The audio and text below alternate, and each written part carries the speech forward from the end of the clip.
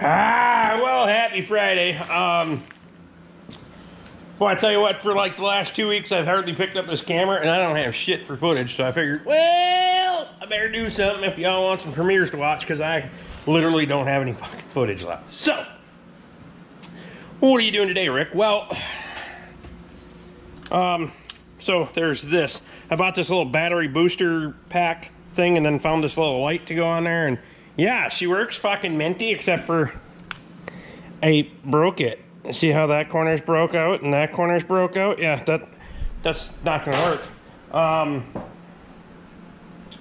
so I gotta do some little repairs on that, but in the meantime, we're working on corn planting.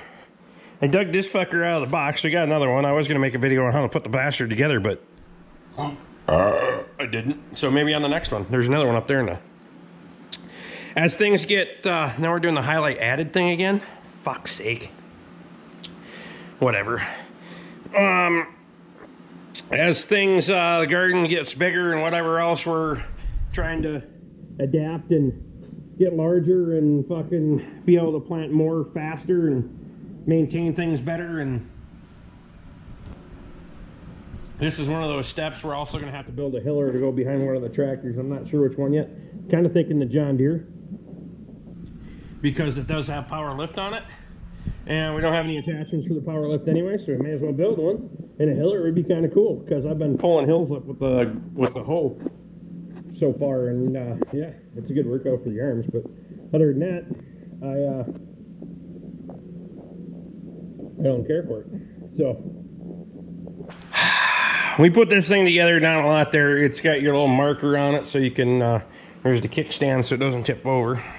That's your row marker and I put it right there at my as the row marker because fuck it close enough.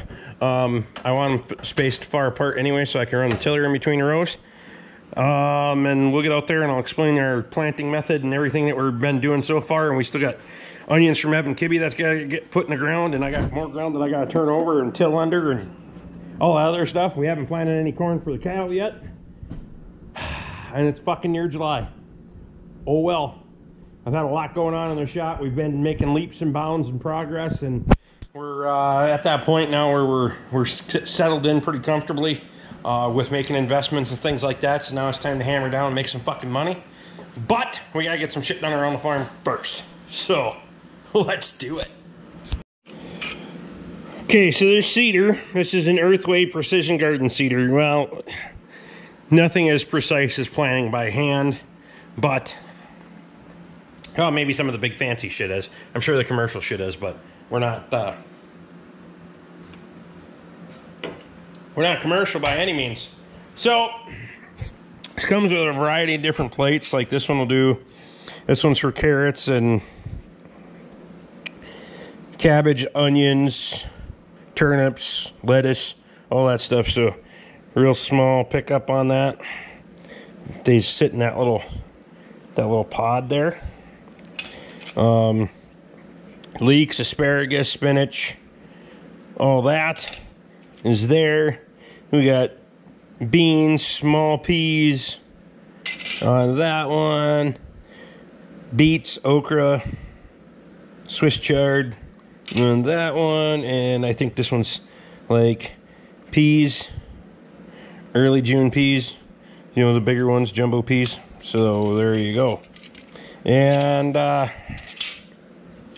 we could read through all this, and then you can figure out your your cycle here is on your as your oops, put it back on the stand, Rick. Why did I put take it off the stand? As your wheel goes around, right? So it's a little belt drive on there, and I'll try to get you down in here. Why did I go to that side? Go this way. So as the wheel comes around, it uh, picks up in the little pod there, and it actually dispenses it. When it comes up to the top, it drops it in, goes down through there, and this is your depth gauge for how deep you want to plant your product, your seeds. So corn's going to be probably somewhere right about there. Tighten that bad boy up. Don't get crazy. So it funnels down. This opens the ground. It's your opener. And uh, seat drops in behind. Your little chain drags along, cover it up, and then you got your compactor wheel. That uh, your closer wheel, whatever you want to call it. Closing wheel, fuck, I don't care what you call it, but here you go. That's how she works. Um, it's not uh, super complicated. It's basically a miniature version of an old planter. I would like if this was a cast wheel. Of course, for what you pay for them, you're not going to cast wheel. If that was a cast wheel, it would be a little bit heavier, it'd do a little bit better job compacting the ground or closing the ground. Same with this one, but whatever. I guess we're going to take it out there and see what the fuck happens. I'm sure with any of this stuff, it's going to require some adjustments, some tuning, some work, all that other stuff. And we got to do some more tilling before we get into it.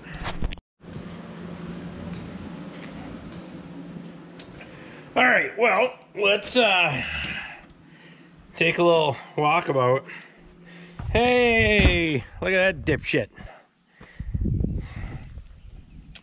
So somebody found his way out in the storm last night, and uh, I haven't seen him all day today, so I didn't know where the fuck he was. Idiot. Um, uh, yeah. So, anyway, I'll get into that another time. So what they did is they went back in that back corner of their kennel there. See how I cut half long grass, half short grass in there? Because um, they like to harden the long grass from the bugs sometimes, and then sometimes they like to sun themselves to get away from the bugs. So, whatever. Um, back side of the shed. Somebody got to clean that up too. Whatever. They went and dug underneath the fucking shed and then into the back and then they got out. So I needed another fucking project between dogs getting out, the cows getting out, and whatever else. Fuck's sake. Good thing it's Friday. So we're down here. Uh, I'm actually caught up on videos now because I didn't record anything for like two weeks. Hey, dingling. You want something to eat? Go back in the fucking hole that you dug. Yeah, I gotta clean all this up too. Um, and that, wind blew that over. We've been trying to get focused on the garden and not the little patio thing that we got all the fucking um, tiles and whatnot for. But so here's what I just tilled. We turned this with a plow. I need to trim the grass along the outside there yet um, but I'm not too worried about that right now. So this is on the north side of the garden. This is uh, all that equipment's gonna get moved and we're gonna probably be going to that fence, that old fence line and then some yet. But I'm gonna go to that fence line right out of the gate. This is gonna get planted into sweet corn and then we need to do more onions and then we're gonna need the fence but fencing is so fucking expensive right now. So that means everything down here's got to get moved. The old international the four bottom the tedder the uh, front mounted v-rake the fucking old baler um, that fucking chevy trailblazer the tank the fucking seeder, both the seeders up there there's two grain drills up there. Uh, one's a grass seeder one's a grain drill. All that shit's got to get moved. We'll pull all those posts out and then uh, I might just run the haybine through here if it stands back up and then uh, till and then plow it under. We'll see. But for now, I need to get uh, the corn in the ground. Um, time's a wasting. Rain's on its way. Look at that fucker.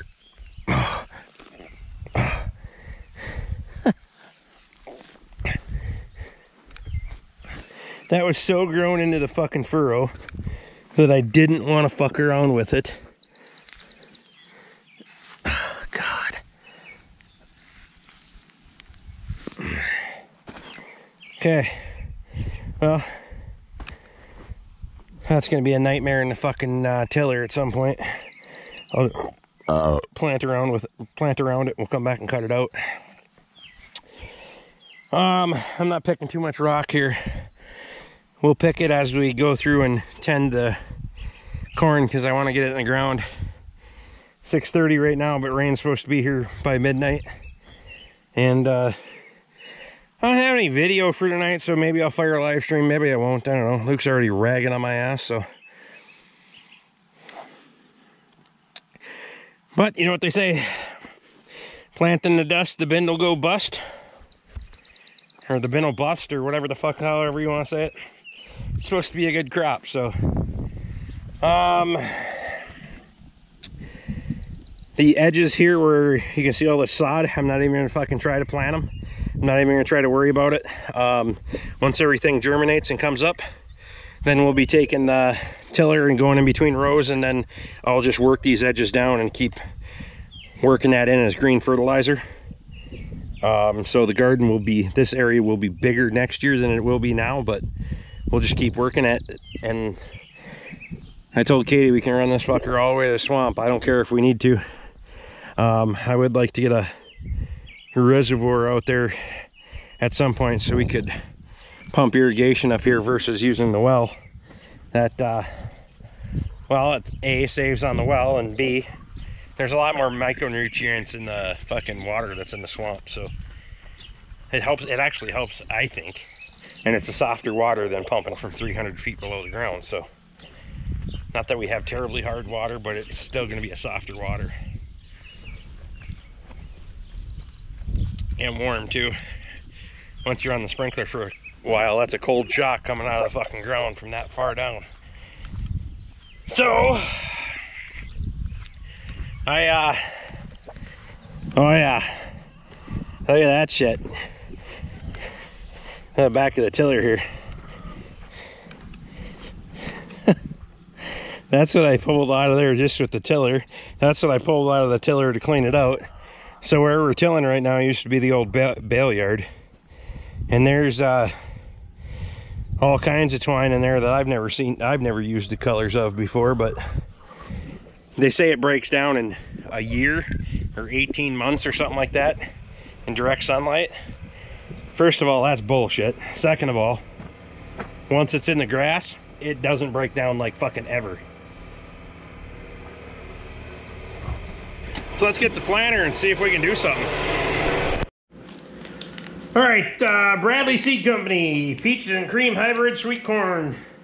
Pure seed, 99.95%. Other crop seed, 0.03%. Inert matter, 0.02%. Weed seed, 0%. 300 count seeds. I,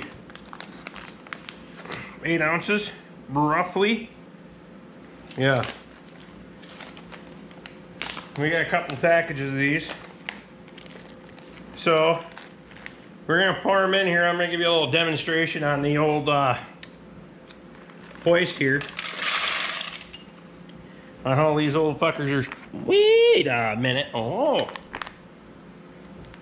I see. You can't even fill the fucker that full, otherwise it'll uh, be overflowing. So that's pretty much all you can stick in there.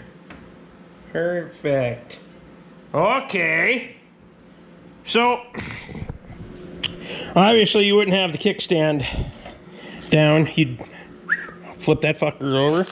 So as your wheel turns, we're gonna have to go around to this side, slide this on a bitch over here. Look, we're already we're already planting seed. Look at that. Look at that. Okay. So as your wheel turns, as if you're walking, your wheel would turn, right? And then your little cups pick up the seed. See how it picked up that seed nice? And then it drops it. Bink. I should turn on the light. Maybe you didn't see that so well. So, see that little cup? One nice little seed. Boom. Done. Down in the, down in the, and they come fucking, they come slinging right out of there. So watch right, right, right here.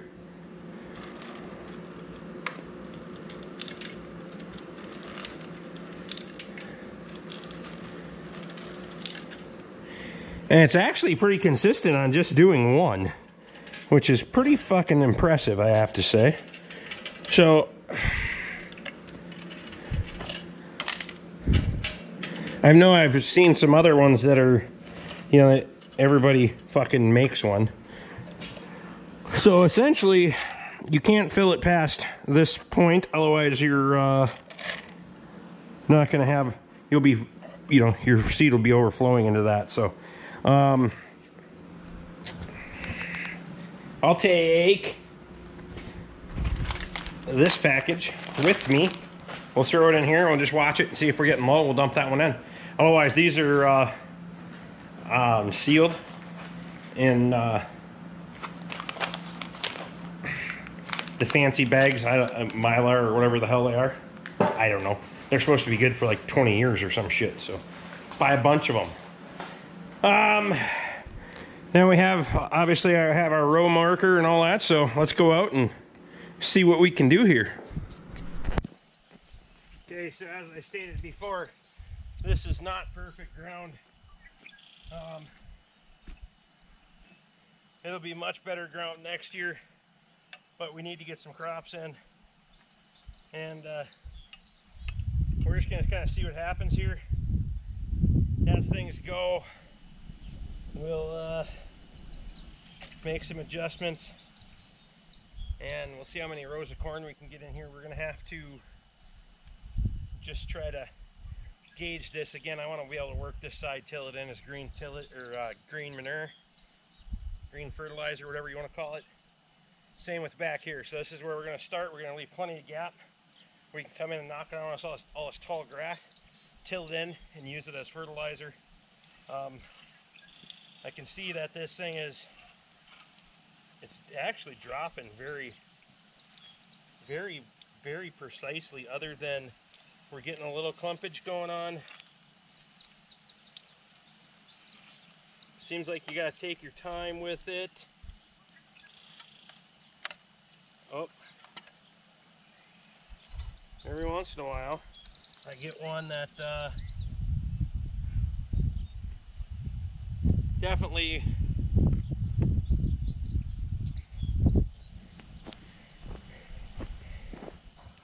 So it's definitely got its problems with these little clumps of sod and whatever. And uh, as we go, we'll try to overcome those and uh, just make an adjustment in the pickup.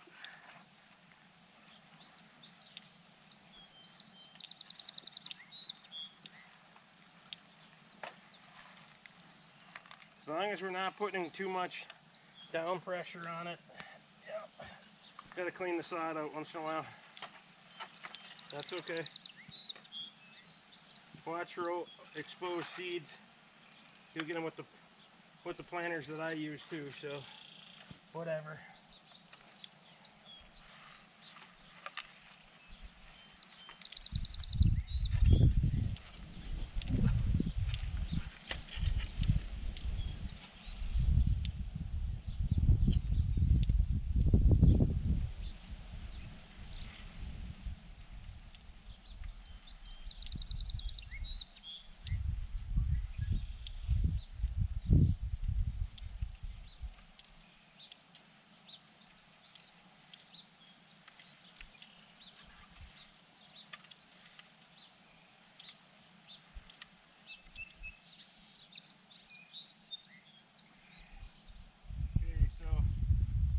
Pick up and uh, flip this over the other direction and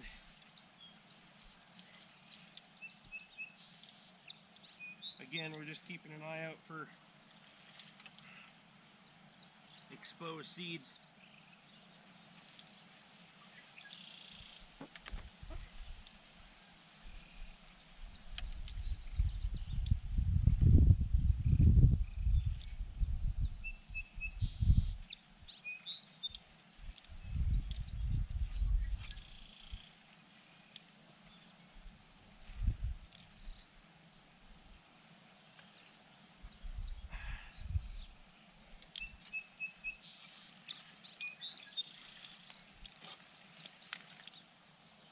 I'll explain to you my process here. As we uh, once we get done here I'll explain my process and my uh, thought process and how all this is going to work out so. And maybe it won't. I guess you just have to stick around, subscribe and all that junk.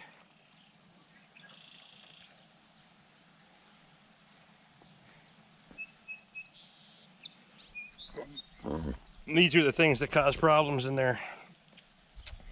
And uh, so they'll continue to cause us problems for this year. But the reason that I'm spacing so wide is A, I want to be able to run the tiller in there, but more importantly, be able to break up this ground and uh, turn all this back. We can go and pick it all out, which we did on that first section up there that I turned under.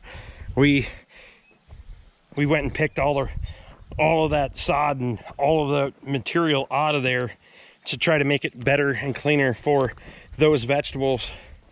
In this instance, I'm going to try to experiment a little bit and uh, work in between the rows and then till it all in and break it all up and use that nutrients that's there. And then next year, we just offset the row in the middle of where we were before. So then the following year, we're tilling in all the other stuff that was in that row that we had before. So hopefully, hopefully that'll work out. And I'll explain the rest of the garden when I'm done with this. We're gonna finish planting this out and then uh, I'll bring it back. Okay, so I actually think this thing would work really well in ideal soil conditions. Nah, maybe not even in sub-ideal con conditions. This is not garden soil at the moment, okay? So you guys got to understand that. Um, there's that uh, clump. I'm going to cut that out later. So we're just going to bypass it for right now. Um, we'll go up here. So I'm going to have to get in there with a shovel and dig all that shit out. Yeah, or, uh, we got to be is that our line? Yep, that's our line. It's a little bit hard to see where this thing draws its line, especially right now because the soil is so inconsistent and uneven, but I'm actually pretty pleased with it considering the rock, the sod, the grass clumps and all that shit. I'll uh, I'll take this over making the trenches and all that and it's kind of satisfying to sit here and watch the thing work do its thing. You'll see every once in a while you get one that falls out, but if you gotta go slow, you go too fast, it won't, uh, see how we missed a couple there? And then you miss one, it'll pop out, whatever. So we're, we're gonna, we're gonna have inconsistencies in the rows. I can pretty much assure you of that. Um, the other thing I noticed is it won't run the seed out. It'll just quit working before the seed actually runs out, particularly on the corn. I haven't tried other seeds yet, but the bulk of the time, it seems like it's doing okay. Um, closing, is it doing a great job of closing? I don't know. Take a walk back and see if you got exposed seeds. If you do, cover them up, kick a little dirt in on top of them. I'm probably gonna do what, one, two more rows, and then I wanna leave that edge open so we, again, we can keep continuing. Um, other than onions, I don't think we're planting anything else out there, but we're gonna make it bigger so that way we can till it, work it, and that way next year it's going to be a better garden to work with versus turning it over and planting it same year. We can work it the whole year, keep tilling it, keep turning it, keep turning that sod into um, green manure versus trying to pick it out of there and throw it away. Because once this breaks down, it's just more nutrients for your soil. Um, so yeah, we're uh, we're getting after it. Okay, so sweet corn's in. Um, the, uh, I'll give you a look at the rest of the garden here and yeah, we're behind and whatever. This whole uh, job thing's been an adjustment. Everything's been an adjustment and trying to get things caught up and actually being able to fix things right instead of just putting out fires has been a big deal. But it takes a lot of time because for several years you were put I was just putting out fires and not, not able to actually fix all of the problems. So, um, Let me give you a look at the rest of the garden here, the rest of the, whatever this looks like.